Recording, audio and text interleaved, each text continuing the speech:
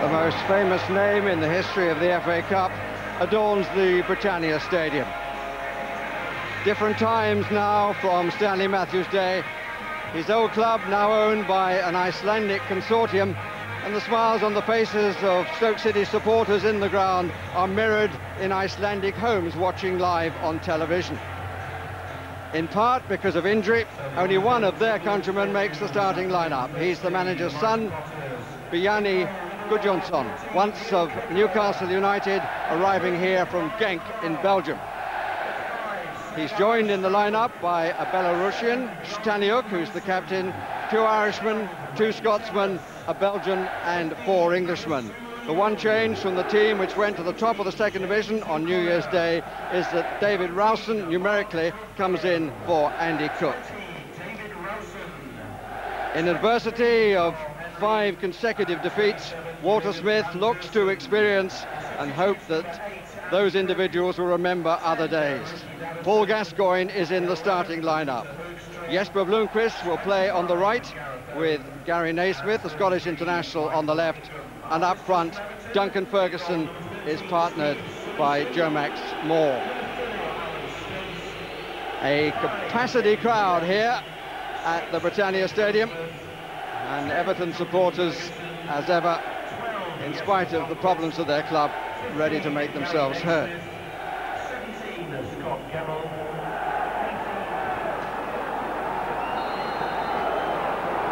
top of the second division against 13th in the Premiership, They're only four points off the drop zone. Or put another way, a side losing 6.4 million a year against a side 30 million pounds in the red. Everton in the latter category. And here's one who knows what it's like to uh, win the FA Cup, David Unsworth. Not the best clearance at the start. Felt kindly for him. And Duncan Ferguson also in the 95 winning side.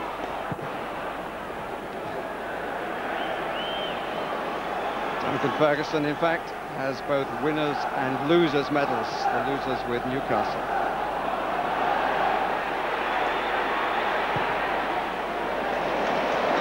Grab by James O'Connor.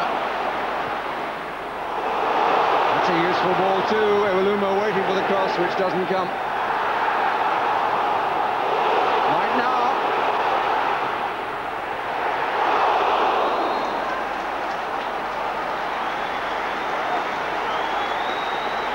Matter of inches. O'Connor started, might have finished.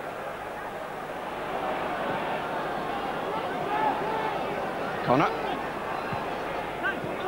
Beautiful ball in. This is Rowson. Johnson. Van Deurzen. Against Unsworth. You can please the uh, Everton supporters behind the goal. Defended by Steve Simonsen. Johnson. The take, hit with pace, Iwelumo.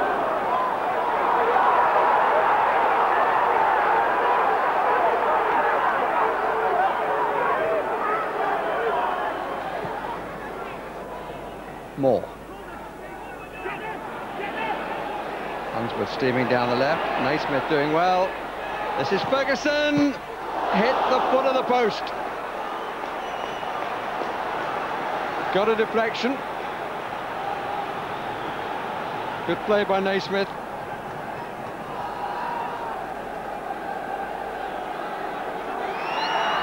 Naysmith with the corner, ball out of play. Only scored three times this season, Duncan Ferguson, and they've all come from the penalty spot.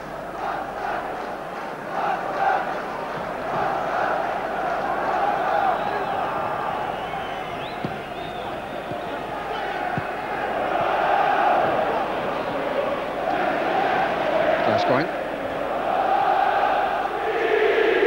Naysmith. Created the best chance so far, Naysmith late by Thomas. The ball watching going on. Oh, and so close from Jesper Blomqvist. Stoke City have had more of the play, but the two nearest occasions we've come to a goal have been at the Stoke City end.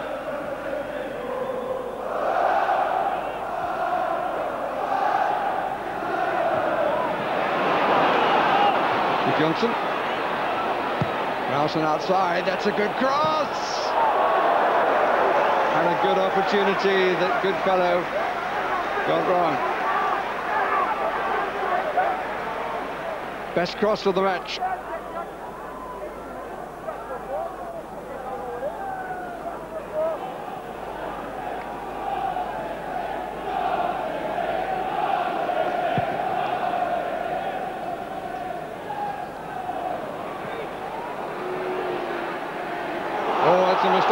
Portuguese. Van Deurzen waited too long, really. Johnson is the most disappointed. He was the player making the run on the near post.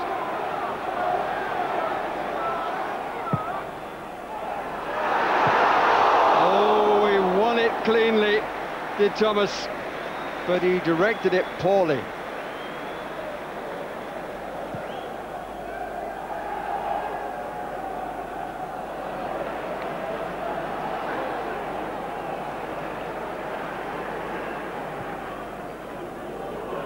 Goalkeeper's now coming for the ball, and he's got to regain his position. And the free kick is right on the edge of the uh, D on the 18-yard line.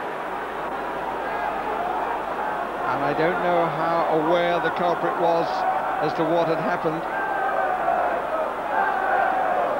Hmm. Partly one. But at least it's enabled the goalkeeper to get back into his position ball was a bit late from Ferguson. Is Unsworth going to have a crack at it? Uh, he's just with the tee-up roll. And it's deflected. And it's in.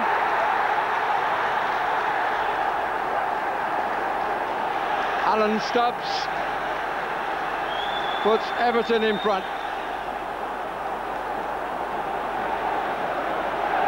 Stubbs. Well, it wasn't that far away from the goalkeeper's hand. How much of a view he got of it in time is questionable.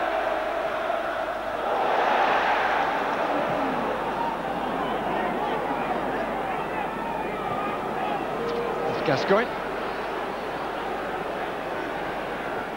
Webster was uh, very doubtful all week with injury. Gascoigne! got a foot to it, then Cutler, Blomqvist took his time, blocked by Thomas.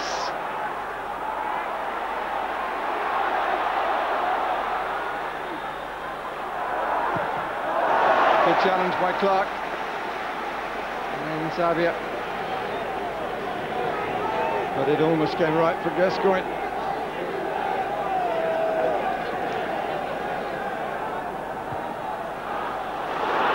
Blomqvist, chance to finish it all. Side netting. Just perhaps played it slightly further ahead of himself than he meant to. Too challenged.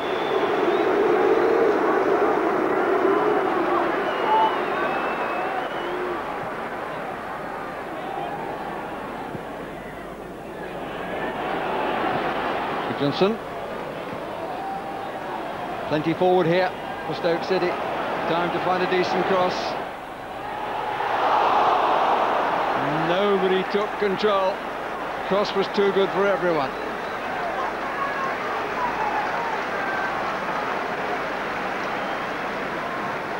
Gudjonsson's cross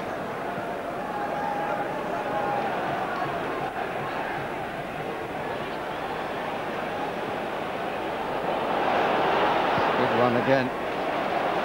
Xavier Blomqvist to his right. Portuguese fancies chance. Does he? Leaves it for the Swede who scores. No, he doesn't. Curled away at the last minute. He can't believe he hasn't scored, and I must say it surprised me too. Xavier fooled them into thinking he was going to shoot. And a little flick here looks as though it's going to go in, but it curls away instead.